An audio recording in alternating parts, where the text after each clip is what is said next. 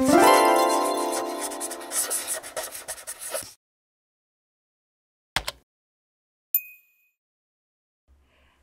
your color picker, when you double click on your color here, looking like this and it's just different? It's not like the hues on this strip here and then the saturation over here. Well, you probably misclicked something and I'll get you back there. So what I want it to look like is over here I have the color. I want it to be like this, hues, saturation.